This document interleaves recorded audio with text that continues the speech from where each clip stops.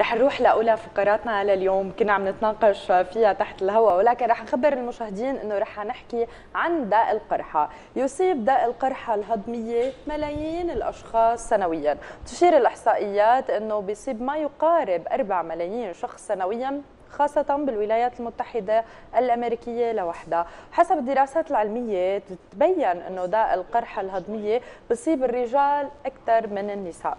شو هي الأسباب؟ وكيف بصير معنا قرحة؟ وشو هي آه، طرق تمييز القرحة عن باقي آه، العوارض آه، أو آلام المعدة؟ رح نحكي عنها أكثر وشو هو العلاج المناسب؟ معنا الدكتور فهمي المبيض أخصائي هضمية. صباح الخير دكتور. أهلا وسهلا فيك. أهلا وسهلا. يسعد صباحك. يسعد صباحك دكتور وأهلا وسهلا فيك. بالبداية خلينا نعرف القرحة الهضمية. هي اتكال أو ممكن نقول عنه جرح بالغشاء المخاطي تبع المعدة أو الاثني عشري الاثني عشري بينصاب بالقرحة أكثر من المعدة الآن. هذا الاتكال يعني مثل كأنه منطقة متجوفة أو إنه صارت مثل حفرة صغيرة. آه، بتعطي آه، مجرد إنه اجى عليها الحمض تبع المعدة بتعطي آلام شديدة. نعم. طيب دكتور آه، كيف بتبلش القرحة؟ شو هي العوارض؟ كيف نحن فينا نميز إنه هي آلام معدة عصبية أو آلام أو فتق أو هو لا هو قرحة.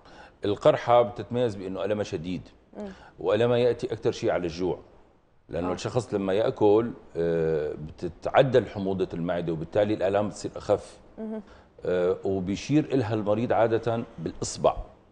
ما بيشير لها باليد. اللي بيشير باليد بنشك بتشنجات المعدة وتشنجات الكولون وغيره. وبالإصبع منطقة واحدة. اللي بيشير بالإصبع معناتها عم يحدد على مكان ألم صغير. وهذا آه، بيدل على القرحة. والقرحة ممكن تنوجد بالمعدة أو بالاثنى عشري كما قلنا. آه، الآلام بتجي أكثر شيء على تناول الأطعمة اللي بتزيد حموضة المعدة. مثل؟ مثلا البندورة المطبوخة اللبن المطبوخ الحمض بحد ذاته الخل هيك أشياء بتزيد الحد بزيد الأعراض. نعم.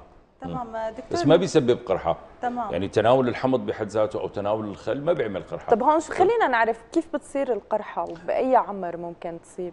بتصير بأي عمر كان. هي ناجمة عن جرثومة اسمها اللولوبيات الحلزونية بالعربي اسمها بالأجنبي هيليكوباكتر بيلوري صار هلأ من 20 سنة وطالع معروف تماما إنه هي الجرثومه هي السبب بتشكل 90% 10% بيكونوا ناجمين عن تناول الأدوية المسكنة تبع المفاصل.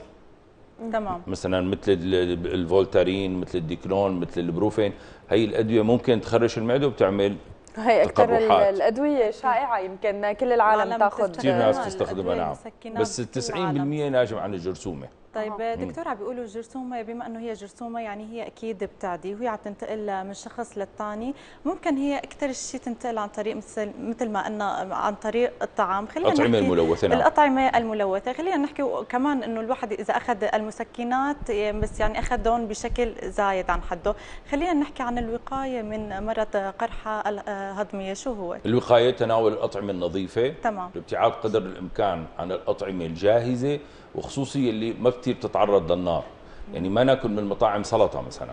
تمام. إنه هي ما رح تتعرض للنار. أما أكل جاهز مثلا بيتزا وسخن وطالع من النار هذا الجرثومة بتكون ماتت. تمام. الأطعمة آه، المطاعم النظيفة آه، يعني هي طبعا أكيد الأفضل. وفي مثلا أنا مثلا على سبيل المثال الخبز. أنا آه، باخذ الخبز صراحة بسخنه بعدين لأنه ما بعرف الفران إنه كان منتبه لموضوع النظافة أو لا. لأنه ممكن تنتقل. تسخين تعرضه لنار يعني بعرضه لنار أو بحطه بالميكرويف مثلا بيقتل الجراثيم الموجودة عموما. مش شرط يكون بس ال Helicobacter في جراثيم ثانية ممكن نحن يصير معنا تسمم غذائي أو يصير عندنا التهاب معدة وأمعاء. بتكون ناجمة عن الجراثيم الثانية اللي كانت ملوثه لأنه آه يعني عملوا دراسة على طلاب كلية الطب فلقوا إنه بس 13% بيغسلوا إيديهم بعد ما يطلعوا من التواليت. 13% نعم وهي الجرثومه بتنتقل بالاطعمه الملوثة ببراز المصابين. فالشخص اللي طلع من التواليت وما غسل إيديه أو ما غسل إيديه بشكل جيد حضر طعام لحدا ثاني أو أو صافح حدا ثاني والحدا الثاني راسا أكل مثلا. هذا ممكن بسهولة إنه ينعدل يعني حتى إنه يعني لازم نقول للأشخاص كمان دائما يحافظوا على غسل الإيدين بشكل دائم قبل الأكل. يعني هذا الشيء كثير مهم ضروري لو هن مو مرضانين نحن بثقافة مجتمعنا بيغسلوا بعد الأكل. نحن بنتمنى إنه يصير قبل الأكل أهم. صحيح قبل الأكل أهم. مع أزمة كورونا صارت العالم تعتني بنظافتها الشخصية بشكل أكبر وإن شاء الله دائما ياخذوا هي القصة معهم دائما. يغسلوا إيديهم. دكتور من الأعراض إن قلت لي في مثلا طفل عمره 45 يوم كان معه مثلا قرحة هضمية. خلينا نحكي هي الأعراض هي بتختلف مثلا مثلا ان إنه الواحد بينقص وزنه بيصير عنده مثل حرقة بيصير كثير كثير من أعراض القرحة الهضمية. الطفل بهالعمر آه، شو عرف أمه إنه معه قرحة هضمية؟ يعني أنا أول مرة بنصدم بهالمعلومة. أمه ما راح تعرف صراحة تمام. بس البكاء المستمر الشديد تمام. الدائم اللي بيخلي يراجع الطبيب والطبيب بعدين بيشوف بقياء شديد متكرر والحقيقة مرضى القرحة ما بينقص وزنهم. تمام. مرضى القرحة بيزيد وزنهم. أوه. السبب إنه بيأكلوا ليخففوا من آلام القرحة. بيقولوا فقدان الشهية والقيء الزايد هو اللي في قيء مزبوط بس مو ما بتروح الشهية بالعكس تمام بتزيد الشهية. مشان يخفف من من حموضة المعدة حموضة اللي هي عم تعمل الأوجاع. هلأ في استثناء لهذا الموضوع إنه في قرحات وخصوصي قرحات المعدة مو قرحات الاثنى عشري هي احتمال تكون سرطانية. يعني تكون بالأساس هي هي تظاهر من تظاهرات السرطان. لذلك قاعدة عامة أثناء التنظير لما نشوف قرحة بالمعدة قطعا بدنا ناخذ منها خزعة ونفحصها بالتشريح المرضي لأنه احتمال تكون هي مظهر من مظاهر السرطان. أما قرحات الاثنى عشري الاثنى عشري هو المقصود فيه الجزء الأول من الامعاء الدقيقة اللي بيجي بعد المعدة تماما. نعم. هي آه، ما فيها يعني ما بناخذ من الخزعات لأنه بتكون سليمة قرحات سليمة. تمام. نعم. دكتور العلاج هو طويل الأمد ومدى الحياة آه، بيقولوا. آه هيك بيقولوا. خلينا نحن هيك كان زمان. خلينا نصحح هاي الخبرية. الم... وكيف العلاج؟ وشو هو ال life style الصحيح اللي لازم يتبعه مريض القرحة؟ تمام. القرحة آه بال بال بال بالمفهوم الحديث إذا كانت سليمة غير سرطانية بعد ما أخذنا خزعة وتأكدنا غير سرطانية خلال أسبوعين عادة بالطيب باستعمال أدوية خاصة هن اسمها المعالجة الثلاثية. نستعمل ثلاث أدوية مع بعض خلال أسبوعين بطيب 90% آه، بيطيبوا بس في 10% بيردوا بيرجعوا بينكسوا بهالحالة بنغير الأدوية بنعطي شيء اسمه البروتوكول آخر. غير البروتوكول الاولاني في قبل يكون هذا البروتوكول مو كثير نافع مع هذا المريض. نعم. وبيطيبوا عادة. فما عادة العلاج كانوا زمان يعيشوا طول عمرهم على الحليب. هلأ الحليب صار ممنوع ب... لمرضى القرحة. الحليب البارد. البارد أو السخن كله ممنوع. شو السبب؟ السبب إنه هو وجدوا إنه بيريح بس انيا. آه. آه بيساعد الخلايا المعدة على زيادة إفراز المادة الحامضة. وبالتالي رجعنا لنفس المشكلة. بس المريض كونه انيا عم يرتاح آه، يعني أنا بشبهه بالمدمن مثلا اللي بيشرب مثلا مخدرات بيرتاح بلحظتها بس بتبلش المعاناة بعد, بعد ما يروح مفعول المخدر اللي عنده. فهو نوع من التسكين المؤقت اللي غير مفيد على المدى البعيد. طب دكتور مم. في كثير من الأشخاص بياخذوا الأدوية الواقية بمعدة آه، قبل الأدوية اللي بدهم ياخذوها أو في ناس معهم قرحة كمان بتتخدر معدتهم شوي على واقع المعدة. صح هذا الشيء ولا غلط؟ هذا اللي اسمه عاميا واقي المعدة آه، جزء من البروتوكول العلاجي لمرضى القرحة. آه. هو علاج ثلاثي واحد منه هذا اللي اسمه واقي المعدة. طبعا كلمة واقي المعدة طبيا غير صحيحة تماما لأنه هي مادة تنقص إفراز الحموضة في المعدة ولا لها علاقة ابدا بتغليف المعدة كما يقول الناس. يعني أغلب الناس يستعملوا كلمة إنه هذا مغلف أنا باخذ المغلف تبع المعدة. هذا خطأ شائع يعني أما هو بينقص إفراز الحموضة وبالتالي جرثومة المعدة آه، أو الادويه المسكنة تبع المفاصل بصير المفعوله أقل تخريشة أقل هي جرثومة هي بتحب الوسط الحامض كثير تمام. لذلك كل ما بياكل أكلة حامضة أو مية بندوره بالذات بتلاقي ضاجت الأعراض. بس هو مو هي السبب هي بتكون هيئة الوسط المناسب لجرثومة المعدة. طب لما بصير عنده نوبات وحالات والضوج المعدة بسبب القرحة شو هي أول شيء لازم يتصرفوا المريض؟ أول شيء إنه يمتنع عن الأكلات المؤذية. حاليا لحتى هي شوي يهدي الوجع لأنه الوجع أليم يعني جدا. إذا كان قاعد على الطاولة بده يأكل ولقى اكله ميه بندورة يبتعد عنها. لبن مطبوخ مثلا اسوء من مية البندورة كمان. حوامض الخل البهارات الحد هي يبتعد عنها تماما. ويأكل من الأكلات الثانية العادية. تناول الطعام بحد ذاته بخفف بيعدل حموضة المعدة. تمام. الطعام العادي اللي ما فيه هي المواد. تمام. أه، دكتور خلينا نقول إمتى بيتم اتخاذ قرار لإجراء عملية جراحية للقرحة الهضمية؟ برأيك؟ الحقيقة بعد اكتشاف إنه الجرثومه هي السبب صار يعني أنا من 20 سنة تقريبا ما حولت يعني يمكن نادرا للجراحة. صار الشفاء 100% عن طريق الأدوية. تمام. آه، زمان كان كنا مفكرين إنه هي حالة نفسية أو شيء من هالنوع. نعطي مضادات الحموضة يلي اسمه عاميا مغلف المعدة. كنا نعطيه فيخفف الأعراض يوقفوا المريض يرجع ترجع الأعراض. فشو كان؟ مشان نخلص كان نقص العصب تبع المعدة أو نقص جزء القرحة نفسه.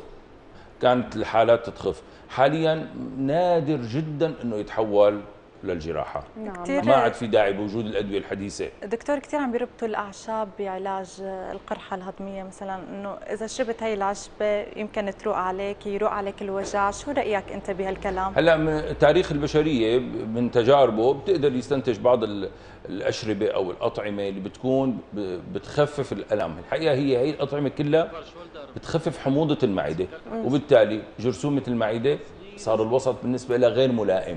تمام. فبتهرب عادة هي بتعيش ضمن الغشاء المخاطي بتحفر حفر وبتعيش بعيدة عن مكان القرحة. آه، بصير بهالحاله آه، يعني ما عاد آه، ما عاد مفعولها ما عاد شغال بوجود الأشربة والأطعمة هي بس هي مو علاج لأنه الجرثومة ما زالت موجودة. إذا ما ماتت الجرثومة طبعا في تحليل حاليا دم غير قصة التنظير. يعني إحنا ممكن نشوفها بالتنظير وممكن نشوفها بالتحليل. تحليل بو عفوا دم أو تحليل براز وفي تحليل أخير اسمه تحليل التنفسي. يعني المريض بينفخ بجهاز هذا الجهاز بيعطيه بتغير لون المادة اللي كانت موجودة بالجهاز إذا تغير للون كذا بيكون في جرثومة إذا تغير للون كذا بتكون ما في جرثومة. كمان هذا كثير عم يساعد يعني صار تطور كثير كبير بعلاج القرحة. الحمد لله من قبل كان صعب أصلا صعب يعرفوا شو يعيش طول عمره بالقرحة عادة. تماما. لأنه أصلا مو عارفين السبب. فنحن كنا عم نعالج شيء ثاني عم يخفف من الأعراض. ممكن بخفف الأعراض بس ما بيروح الجرثومة. نعم. دكتور خلينا نحكي عن نقطة كثير مهمة. بيقولوا قرح المعدة بيرافقه أعراض ثانية مثل بصير في حرقة آه، بالمعدة أو بصير في أعراض ثانية هل هذا الشيء صح ولا لا؟ تمام. هلأ نحن اتفقنا إنه هي جرثومة بتحب الوسط الحامضي. أوكي. تمام. فعادة ما ما بتنشط ولا بتصير الآلام إلا إذا الوسط حامضي. الحرقة اللي نحن بنشكي منها عادة هي ناجمة عن عودة الطعام من المعدة إلى المري، المري هو الجزء الهضمي اللي قبل المعدة اللي بيوصل ما بين الحلق البلعوم وبين المعدة. هذا إذا وجد فيه الحمض فهذا أمر غير طبيعي، المعدة إذا فيها حمض ما بيشكل شخص من وجع إلا إذا في قرحة يعني. أما المعدة الطبيعية آه، ما بتأثر نهائيا عليها. رجوع الحمض من المعدة للمري بيعطي الشخص إحساس بالانزعاج والإحساس بالحموضة. بهي الحالة ممكن يكون الشخص عنده مثلا فتق حجابي عم يسبب ارتجاع. ومثل ما اتفقنا القرحة كمان بتشكي من حرقة لأنه هي بالأساس هذا الوسط الملائم لها. يعني نحن 100% متفقين أنه القرحة آه، هي مرض جرثومي وليس طبعا. نفسي. فخلينا كمان نركز على هي النقطة. كلهم بيقولوا بيقولوا أنه نفسيتنا آه، تعبانة صار معنا قرحة. من كثر ما بعصب بصير معي قرحة. في أمراض ثانية آه، الاضطراب الاسم الوظيفية أو تشنج المعدة إذا صح التعبير بنحكيه بالعامي للمريض نحن. بس هي علميا هي اسمه اضطرابات وظيفية بالمعدة بتصير تقلصات غير نظامية بالمعدة. هي بتسبب آلام هي بتكون ناجمة عن التعصيب أحيانا. أه. ما بصير عندنا تشنج كولون. بنفس المبدأ تبع تشنج الكولون لأنه النسيج الكولوني والنسيج المعدي واحد فبصير تشنجات بالمعدة والأمعاء الدقيقة والكولون.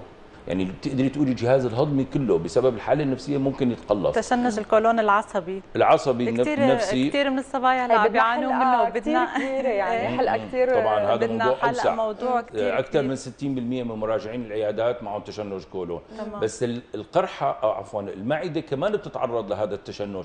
فممكن كثير يصير التباس. يعني مثلا شخص نظر من 10 سنين وطلع عنده قرحة. تمام. احتمال الاكبر تكون طابت بالعلاج. بس بعدين صار عنده مشاكل ثانية تقلصية تشنجية. ما له علاقة بالقرحة بس هو باللاوعي تبعه بيربطها بالقرحة السابقة طبعا. اللي هي ممكن تكون طابة. فلذلك مشان ما يصير التباس التنظير هو اللي بيحل كل هالمشاكل. ببين بالتنظير إنه في قرحة؟ طبعا هي القرحة ما بتبان إلا بالتنظير وإذا كانت معدية لازم ناخذ خزعات لأنه ممكن تكون سرطانية. يعني فكرة نقص الوزن مثلا دائما عندنا قاعدة بالطب. طبعا. نقص الوزن يعني تنظير قطعي. لأنه قرحة المعدة إذا كانت سرطانية عادة بتسبب يا نزف هلا النزف بصير بالقرحة العادية كمان. بس النزف والشديد والمستمر أو بالاحرى كل نزف لازم ننظره لأنه ممكن يكون ناجم عن القرحة العادية أو القرحه السرطانية. أما نقص الشهية ونقص الوزن فهدول عرضين 90% بيكون في شيء غير سليم بالمعدة. تمام. يلي هو القرحه السرطانية. طيب دكتور خلينا نحكي نصائح لكل مين عم يتابعنا عم بيعاني من القرحة الهضمية سواء كان كبير بالعمر أو صغير. خلينا نعطيهم نصائح أخيرة. أو أهم شيء إنه الكبار لازم ينظروا أكثر من الصغار. تمام. لأنه احتمال السرطان عند الكبار بضل أكبر. طب إيمتى تتحول القرحة لسرطان؟ بما إنه عم نحكي الحقيقة ما بتتحول هي بتكون أصلا يعني هي من أول ما نشأت وبالتنظير هي تظاهر من تظاهر بالخزعة. يعني هي تظاهر من تظاهر يعني السرطان قد يكون على شكل كتلة وقد يكون على شكل تقرح. وهذا التقرح هو أصلا سرطاني من أول ما نشأ. الخزعة طبعا بتبين. نحن لازم دائما آلام يعني هلا إذا واحد شكى من ألم صدفة أخذ برد كان معصب أكل أكلة ثقيله وراحت الآلام خلص مشي الحال. بس استمرارية الآلام وخصوصي إذا ترافقت بإقياء شديد مستمر ترافقت بنقص شهية ونقص ممكن وزن. يكون الإقياء مرافق فيه دم ولا لا؟ إن كان قرحة سليمة أو قرحة غير سليمة وارد الدم لأنه وارد. أحد اختلاطات القرحة هو النزف أو الانثقاب. اللي هدول صاروا كثير قلال بعلاج الجرثومة الحديث. نادر صرنا نشوفهم بس موجودين إلى الآن. آه، أما بالنسبة للقرحة السرطانية فهي الدم مستمر آه، مزعج ما بيتوقف هون التنظير سريع. ولازم ننبه على المريض ما يخاف من فكرة التنظير. التنظير بيتم بالتخدير الكامل ما بيحس نهائيا بأي شيء. وهو الوسيلة الوحيدة. يعني لا يوجد الآن طريقة لا بالإيكو لا بالأشعة ليكشف هالشيء فلا نستهين بهذا الموضوع. ياما ناس أنقذت تم أنقاذها من خلال لأنه الأمور كلها ببدايتها بيكون علاجها سهل. أكيد. ياما ناس أنقذت وياما ناس بالعكس تمام. يعني انأذيت أكثر. انأذيت وخلص غالبا بنوصل لمرحلة آه، يعني أنا عندي مريضة هلا ما بنساها عمرها بحدود 40 سنة. إصرار شديد على عدم التنظير. آه، حكي الناس وبيزعج وبيضر وبيسقوا بالمعدة وما شابه. نظرتها صراحة كانت 90% من المعدة 90% من المعدة مليء بكتلة بأخذ الخزعات تبين إنه هي كتلة سرطانية. صراحة ما عاشت أكثر من كم شهر. كان منتهي الموضوع. لو من الأول كثير سهل كان, هلا العلاجات السرطان الحديثة إن كان الجراحة ولا الأدوية الكيميائية والشعاعية وغيرها صارت كثير متطورة لدرجة إنه في كثير من السرطانات صارت تشفى. إيه للأسف إنه الشيء الشائع عند الناس إنه التنظير وسيلة للضرر. وهلأ في فكرة جديدة طالعوا لي إياها الناس جديد آه إنه بالكورونا ما بصير نعمل تنظير. هي ما ما لا صحيحة. لا هو جهاز رح يتعقم أصلا. بالعكس يعني أكثر مكان راح يكون في شخص مرتاح هو هو المستشفى بمكان التنظير المعقم. إذا مو المنظار ماله معقم فهذا سيء سواء كان في كورونا أو ما أو في كورونا, كورونا. طبعا. هذا الشيء مرفوض طبعا. هلأ في مراكز يا ترى أو أماكن ما بتعقم؟ ما بيخلى الأمر. يعني بالمجتمع في ناس مناح وفي ناس مو مناح. بس نحن لازم دائما نختار المركز المحترم نختار أخلاق الشخص اللي عم نتعامل معه. وهون بهالحالة بيكون الأمور جيدة وبتنكشف مزبوط. وخلينا ننظر ويطلع ما في شيء نرتاح. ممكن يكون تشنج معدة أو تظاهر من تظاهرات تهيج الجهاز الهضمي اللي قلنا عليه قبل شوي. المعدة والكولون والأمعاء وهدول فقدر الإمكان نلجأ للتنظير ونستعجل للتنظير. هلا بيقولوا هذا الدكتور عم بيقول مشان يساوي تنظير كثير للناس. الحقيقة الحقيقة لا تساووا عندي ساووا وين ما بدكم. يعني في مشافي عامة محترمة كثير يعني بيسألوني دائما الناس عن مشفى الأسد الجامعي عن مشفى المواساة عن مشفى آه، تشرين العسكري. بقول لهم أحسن مراكز أحسن مراكز, مراكز.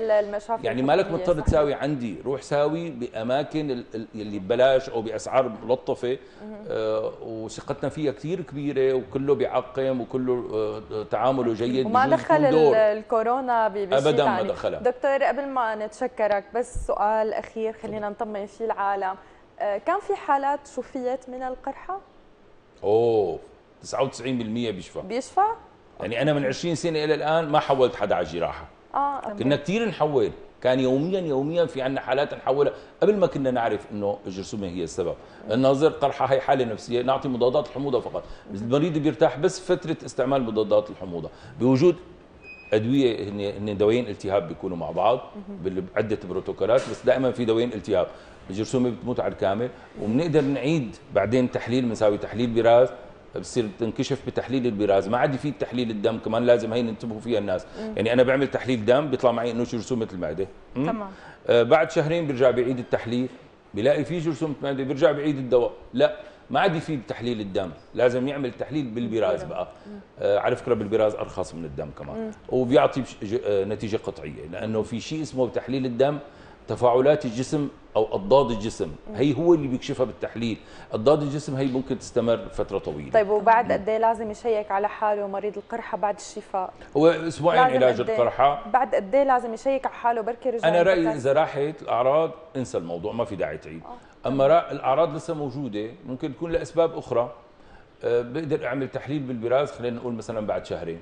هيك بيكون. هلأ في قرحات نحن بنضل بنصر على المريض إنه يرجع يعيد التنظير مرة ثانية أكيد. يعني مثلا في بعض القرحات اللي أحيانا بيكون صعب نأخذ منها خزعات بسهوله في أماكن بالمعدة بتكون صعبة شوي. تمام. آه آه اخذ الخزعه ما بيكون عدد كافي بيكون الدكتور نفسه ما له مطمئن أو ما له مرتاح للعدد كافي. وطلعت سليمة وعالجنا.